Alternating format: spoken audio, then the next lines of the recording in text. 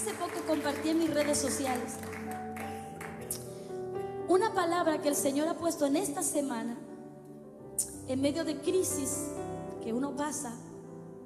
A veces cuando la, gente ah, oye hablar de crisis, piensa la hermana está enferma, tiene problemas económicos y no. Hay crisis más, ah, a veces más terribles que ellas, y es las crisis espirituales, los desiertos espirituales que a veces Dios te hace vivir. Esta semana ha sido una de esas semanas donde ah, he tenido que aferrarme a la palabra y y hace poquito compartí en mis redes sociales algo que salió de mi corazón. Y puse, cada uno da y cada uno habla de lo que hay en su corazón.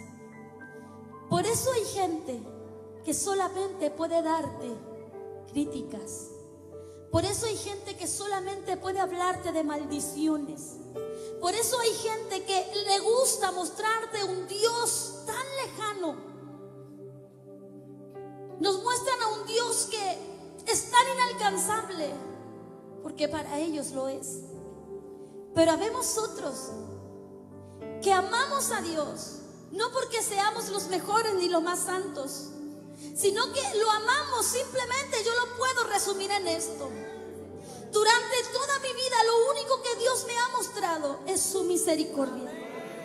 Jamás me ha pagado de acuerdo a mis maldades que he cometido muchas, muchas equivocaciones y muchos pecados también a lo largo de mi vida.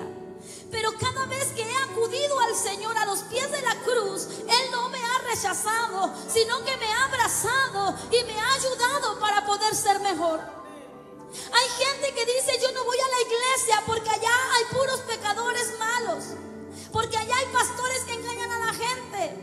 Porque ahí hay pastores amadores de sí mismos. Yo no voy a la iglesia porque hay puros hipócritas. Cuando tú te encuentres con uno de esos, dile bienvenido. Tengo lugar en mi iglesia para uno más. ¿Sabe por qué? Porque en esta mañana aquí no estamos los mejores. ¿Cuántos dicen amén? No, porque la Biblia dice que Él vino a lo vil y menospreciado. Gente que si no tuviéramos a Cristo en nuestro corazón, seríamos terribles, egoístas, fornicarios, adúlteros, amadores de sí mismos, malos padres y esposos. Y si hoy día estamos aquí, es un puñado de gente que reconoce que necesita a Jesús en su vida para poder ser mejor. ¿Sabe? La gente abusa de nosotros los evangélicos y qué bueno que esto esté saliendo por la radio. Porque por el solo hecho de venir un domingo a la iglesia, Muchas veces a usted le han dicho, y eso que soy canudo. Oye, mira la cristianita y te enrostran a ti el simple hecho de querer abrazar una fe en Jesucristo. Oye, si esa gente supiera que si no viniéramos a la iglesia seríamos terriblemente peores que lo que no han visto hacer. Que solamente es el Espíritu Santo que nos ayuda en nuestra debilidad y que aquí adentro no están los buenos. Los buenos están allá afuera porque ellos no necesitan a Dios, son tan perfectos que no necesitan venir a una iglesia a espiar sus pecados. Aquí estamos aquella gente necesitada que levantamos las manos todos los domingos y le decimos, Señor, aquí estoy, me arrepiento otra vez y otra vez.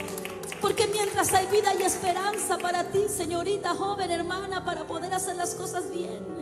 Si Dios te dio un aliento de vida hoy, es porque su misericordia soplando para ti y para mí. Qué triste ver gente que lleva años de iglesia y no conoce a este Dios amoroso. Y se complacen en ponerte normas ridículas para apartarte de un Dios que según ellos es tan inalcanzable. Cuando Dios en los cielos se hizo alcanzable para mí a través de Cristo que se humanó por mi culpa. Aleluya. Yo amo a Dios. Vuelvo a decir no porque sea la mejor, sino que porque Él nunca me ha pagado de acuerdo a mis maldades. Hay un episodio de la crucifixión de Jesús que a mí me impacta. Y es la historia de Judas. Me impacta la vida de Judas porque él caminó con Jesús, porque él comió con él, porque él hizo milagros al igual que los doce cuando fueron enviados de dos en dos. Los demonios se le sujetaron a, Judas también, porque si no la escritura diría, Señor, hasta los demonios se nos sujetaban en tu nombre, menos a Judas, no sé qué pasó con él, pero a él no le hacía el caso. No, la Biblia dice que también se le sujetaron escuchó sus enseñanzas con él. Pero el día que lo traicionó, el día que Judas le ganó su ambición por el dinero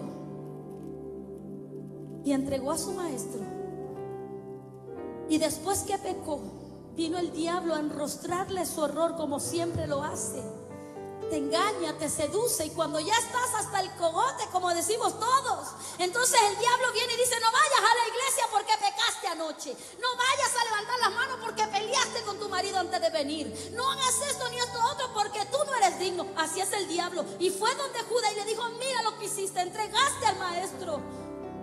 ¿Sabe lo que más me impacta de Judas? Es que él en vez de correr a Cristo, fue y se ahorcó. Y eso me habla de que Él nunca, aunque caminó con Jesús y estuvo en la iglesia con Él, nunca le conoció. Y así hay gente de nosotros que viene aquí, que levanta sus manos, come con Él, pero cuando tiene un problema se va y se aleja, en vez de correr a, los pies de a pies de la cruz. Hubo un hombre ahí crucificado con Cristo, uno de los ladrones, le dice, Maestro Jesús, acuérdate de mí cuando estés en el paraíso. Ese hombre no había caminado con él. Ese hombre no había visto milagros siquiera. Ese hombre estaba ahí por sus pecados, pero en el momento más difícil de su vida supo a quién acudir. Y le dice, maestro, acuérdate de mí. Jesús no le dijo, mira, pero tienes que buscar al pastor de calera de tango y decirle que te, que te bautice por inversión. Tienes que ir a la sinagoga y aprenderte el Salmo 23 de memoria. Jesús no le dice, mira, espérate un ratito, voy a orar. Voy a ayunar a ver si es el tiempo de tu salvación. Jesús no es así. Jesús es tan amoroso, es tan maravilloso que le dice, hoy mismo, hoy día mismo te aseguro que tú estarás conmigo en el reino de los cielos. ¿Qué había hecho de bueno ese ladrón? Si Cristo pudo perdonar a ese hombre en la cruz, ¿Tú crees que no hubiera perdonado a Judas? Si en vez de ir al árbol, hubiese corrido al árbol correcto que era el madero de esa cruz y se hubiera agarrado de los pies sangrantes de su maestro y le hubiese dicho, Señor, la embarré. Me ganó la misión, te vendí, perdóname. Estoy segura que Jesús le hubiera dicho, yo te perdono, Judas. Porque así es Cristo. Y Él te trajo en esta mañana para darte buenas noticias para decirte que Él conoce nuestros errores, nuestras fallas. Él nos hizo, te vio anoche, te vio antenoche. Él me conoce, sabe lo que hablé y lo que pensé. Podría habernos matado anoche mismo de un infarto si estuviera enojado contigo, pero Él todavía está aquí con los brazos abiertos, diciéndote, ven al lugar correcto, ven a mi presencia. Unos discípulos en medio del mar. Jesús le dice, pasen al otro lado. Pero en medio de ese lago, de ese mar, se desata una tormenta terrible. Aún el experimentado marinero Pedro tuvo miedo de morir. Pero dice que en medio de las olas y del viento, a lo lejos ven un hombre que camina. ¿Sabe qué es lo más triste de esa historia? Es que sus cercanos, sus amigos, no conocieron que era Jesús el que caminaba en la tormenta.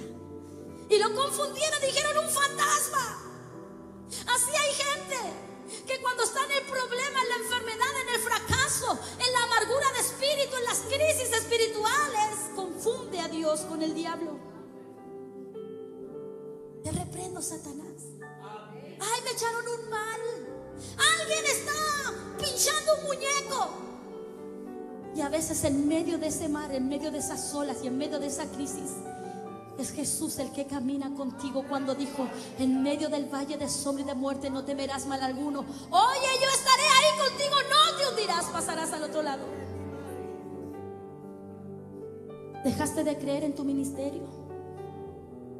Dejaste de pensar que ya no eres útil en la iglesia y te conformaste con venir un domingo más a hacer un número. Pues Dios te dice, vuelve a creer, Vuelve a soñar. Porque si tienes vida hoy, hijito, joven, señorita, si Dios todavía te trajo en esta mañana, es porque Él tiene pensamientos de bien y no de mal. ¿Cuántos dicen amén y reciben esta palabra en esta mañana?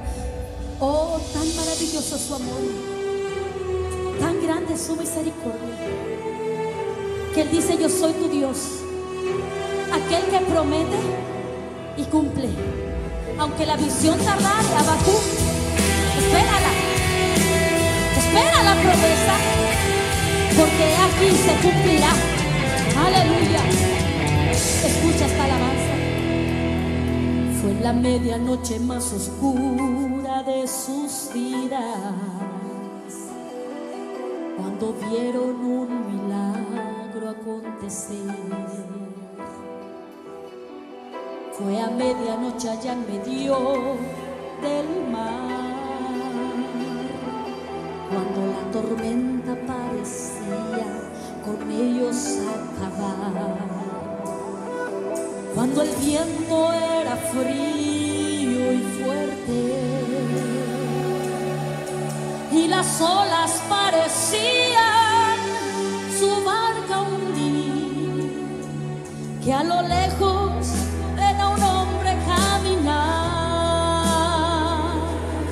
paso firme a su lado.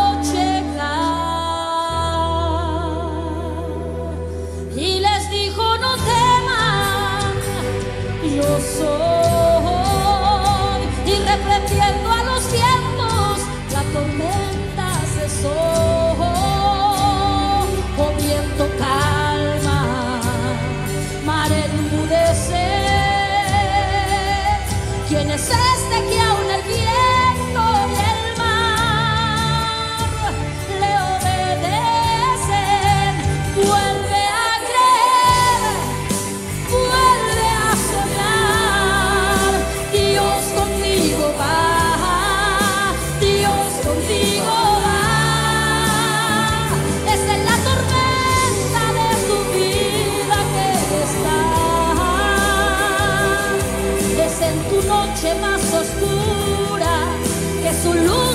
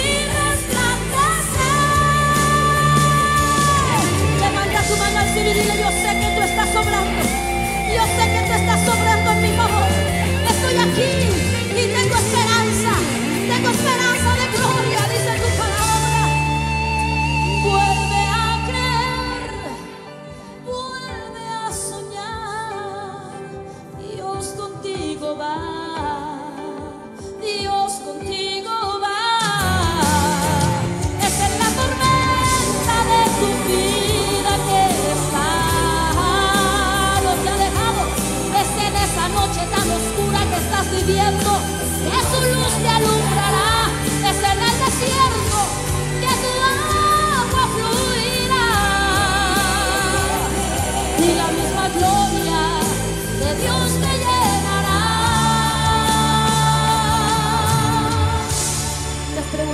porque esa enfermedad, porque ese problema fue la medianoche más oscura de sus vidas